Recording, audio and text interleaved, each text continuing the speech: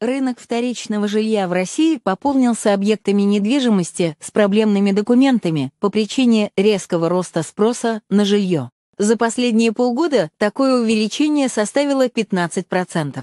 Об этом свидетельствуют данные, предоставленные главой компании «Этажи» Ильдаром Хусаиновым. Как сообщает источник, на продажу выставляются квартиры, хозяева которых на грани признания банкротства. Подробнее о новости читайте на нашем сайте.